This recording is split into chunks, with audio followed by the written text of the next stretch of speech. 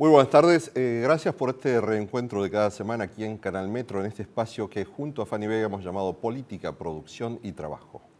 En una semana que estamos celebrando también en toda Latinoamérica, en todo el país especialmente, porque se eh, celebra el respeto a la diversidad cultural. Este tema que realmente es importante porque creo que todos debemos coincidir en que no solo debemos celebrar haber eh, conformado un país con inmigrantes que han venido desde Europa, sino también aquellos que han integrado a la nación y que pertenecen a Latinoamérica. Una Latinoamérica que es importante que se reafirme económicamente porque los procesos de integración son cada vez mayores. Eh, esta diversidad cultural y étnica que nos define como un pueblo de pueblos a todas las naciones americanas, latinoamericanas hoy.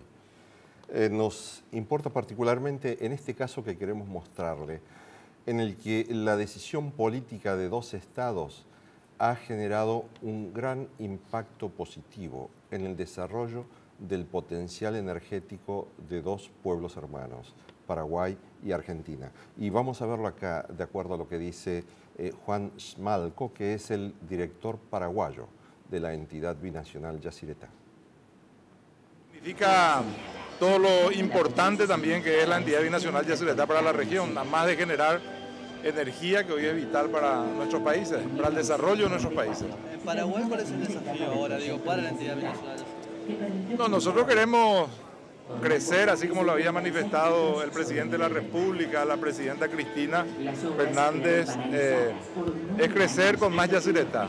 Nosotros somos conscientes y está una intención del presidente de su gobierno, el de llevar adelante todas las obras que permitan repotenciar nuestra hidroeléctrica y otras inclusive que permitan a, a los dos países convertirse, como de hecho lo son, en productores de energía, más todavía teniendo este recurso tan importante como son los ríos y en especial en nuestro caso el río Paraná, una energía limpia y renovable. Es un recurso muy preciado en todo el mundo y nosotros lo tenemos y no podemos desaprovecharlo entonces.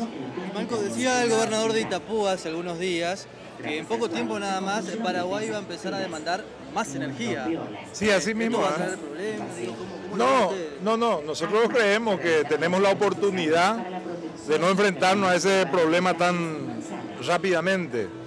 En el crecimiento exponencial que tiene hoy el consumo en Paraguay, coste que tenemos el problema de que nosotros eh, no tenemos líneas de transmisión que nos permitan darle mayor uso a nuestra energía, sin embargo, se están llevando a cabo las mismas y es un, también un proyecto de este gobierno eh, culminar y construir todas las líneas que puedan hacer de que Paraguay ocupe eh, la energía, pero aún así, si nosotros no, no hacemos más obra energética en poco tiempo, se estima que en 10 años, si no es menos, vamos a tener un problema energético importante también. La posibilidad de más turbinas sobre el vaso de Añacua, ¿cómo ven ustedes?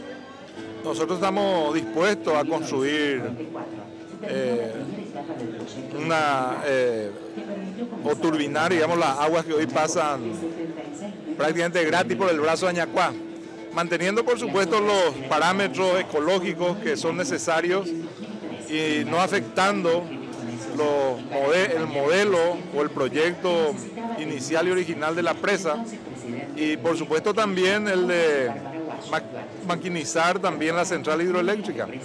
Eh, que está previsto para ello y esperemos que podamos hacerlo en poco tiempo. manejo de datos, ¿qué cantidad de turbinas están funcionando hoy dentro del brazo de la Nosotros tenemos prácticamente de forma constante 18 funcionando.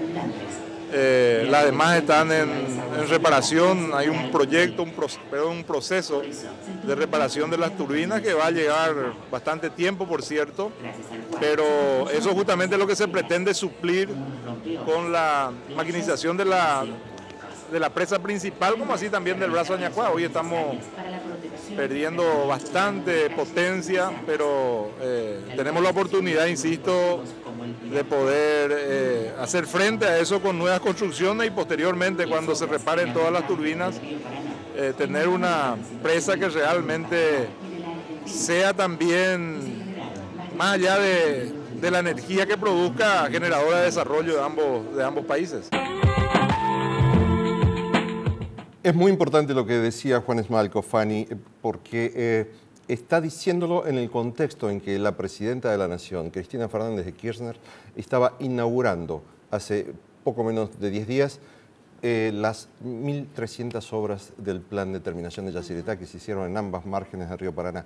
Pero como decía Juan Esmalco, todavía quedan obras por realizar, entre ellas la puesta de tres, el equipamiento con tres turbinas adicionales en el cuerpo central de la, eh, central hidroeléctrica de Yacyretá, en el cuerpo principal, y otras cinco turbinas allí en el brazo Añacuá, donde el agua pasa sin generar energía todavía. Y, por eso esto era tan importante lo que remarcaba el director eh, paraguayo en la entidad binacional, que faltan más obras eh, para realizar pero además le da otro contexto, porque piensa él que potenciando esta región, dándole más energía, se va a poder conseguir un mejor bienestar económico para los paraguayos. Ustedes saben que el presidente eh, paraguayo cuando vino a la Argentina dijo que no quiere seguir exportando pobres y esto me parece que es muy importante tenerlo en cuenta, sobre todo porque allí hay un conglomerado que con el turismo mismo podría ser una potencia. Lo escuchamos a Esmalco.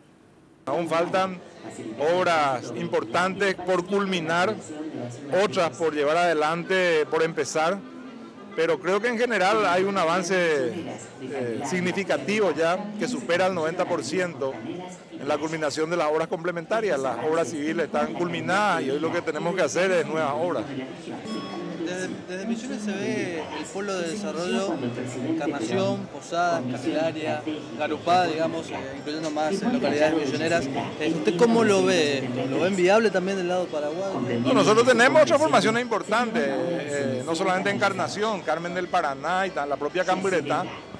son ciudades emblemáticas que han sido impactadas por el proyecto y en este caso en forma muy positiva por las obras que se llevan adelante. Nuestro problema creo que más que nada aún subsiste el problema de la, de la comunicación, especialmente eh, del, tránsito fronterizo, de la conectividad que aún nos falta mucho más para que seamos una sola ciudad prácticamente, o una sola región. Por sobre todo la cosa más allá de Yacinetá, nosotros tenemos un potencial turístico muy importante que también debemos explotar todos juntos. Yo siempre sostuve de que, especialmente Encarnación y Posada, eh, tienen sus destinos comunes muy ligados. El crecimiento de Posadas no puede hacerse sin Encarnación como de Encarnación sin Posadas. Y nosotros somos una misma raza, prácticamente una misma nación que tenemos que construir y crecer juntos.